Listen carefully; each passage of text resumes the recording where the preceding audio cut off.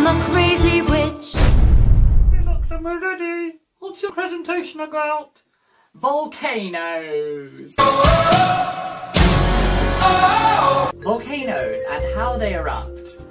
I have made a model volcano. Hi. In continental drift theory, we have tectonic plates. Not like your dinner plates. Kind of moving, moving, moving, and we get what we call subduction zone volcanism. Two plates collide, and one just kind of slips under the other, creating essentially a large hole. Inside these holes we have liquid rock, and in its hard, pressurized state, it's known as mantle. Now the key word there, and the key word when it comes to most volcanic activity, is pressure. Volcanoes in Hawaii, which might look a little bit like this one, are known as hotspot volcanoes. A lot of them are over 70 million years old. How come it takes them so long to erupt? Well, I'll tell you, pressure!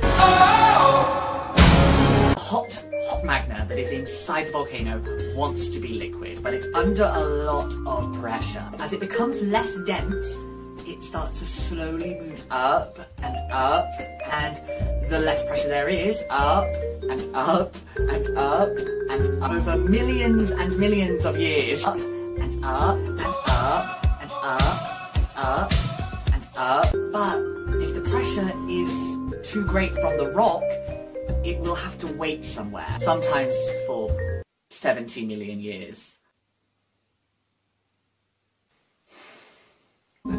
Let's see it in action! With just a little drop of this, we should be able to see a simulated eruption.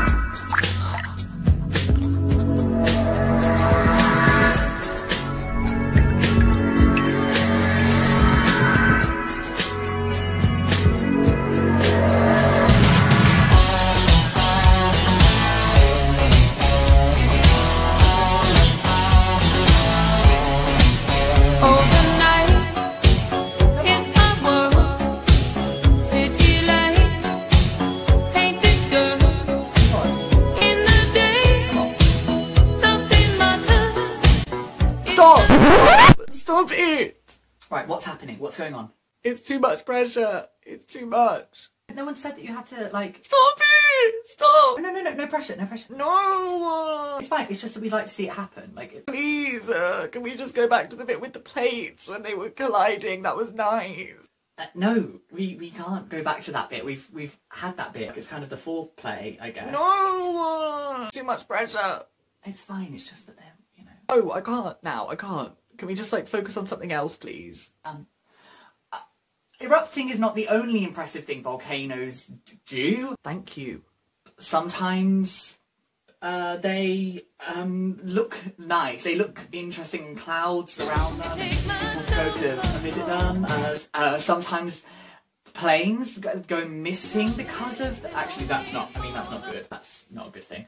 Uh, uh, sometimes people um, sacrifice for, uh, for spiritual reasons. People sacrifice people to volcanoes. You take myself, you take myself.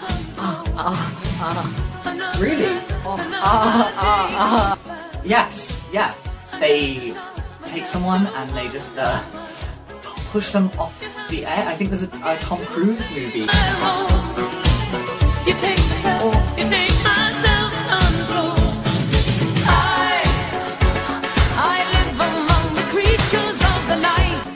Works for you.